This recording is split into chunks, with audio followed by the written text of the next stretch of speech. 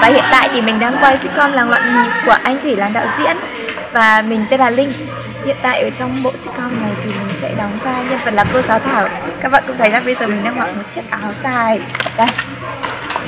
Trông rất là đẹp đúng không?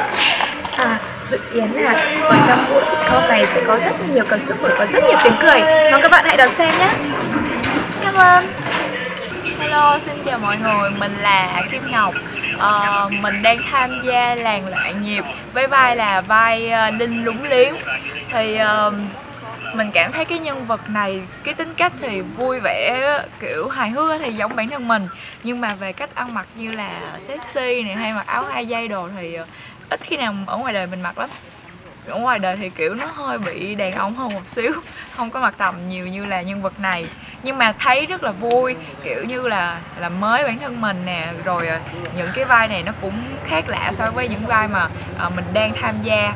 Uh, với lại tham gia với mọi người ở Star TV cũng vui. Và diễn chung với lại mấy anh chị lớn thì cũng thấy mình uh, rút ra được nhiều kinh nghiệm hơn nói chung là mình rất là hào hứng với cái dự án làng làng loại nhịp này. Bị loạn à? Bị loạn luôn loạn luôn Xin chào mọi người, mình là Thương. Và hiện tại à, đây là à, hình tượng nhân vật gơ, gơ gay gắt. À, nhân vật gơ là một nhân vật là rất là đáng yêu, mình rất là yêu cái nhân vật gơ này. À, đó là một gọi là bà thím đi. Là một bà thím ở trong làng à, bà thím này thì um, rất là rất là hay thích bô bô. Giọng nói thì hào sảng. Ờ, nhưng mà bà thím này rất là tình cảm nhé mọi người nhá. Bà thím này rất là tình cảm. Ờ, mình rất là yêu những cái vai uh, nhân vật như cái bà gơ này. Uhm, vai bà gơ này là một trong những cái vai mà mình thấy là rất là ấn tượng. Mà ngoại hình uh, cách uh, tức là ngoại hình cái uh, cái gì nhỉ? Ờ. Ừ, cái ngoại hình và cái trang phục của bà gơ rất là ấn tượng.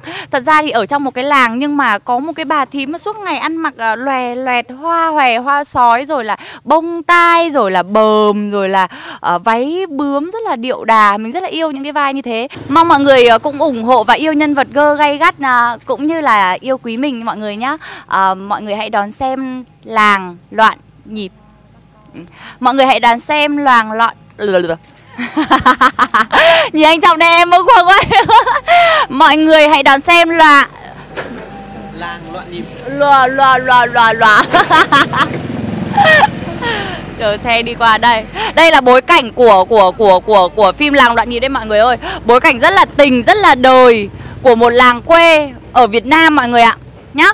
Thì mong mọi người hãy uh, đón xem phim là được chưa? Lại chưa? Mong mọi người hãy đón xem phim Làng Loạn Nhịp của Style TV nhé mọi người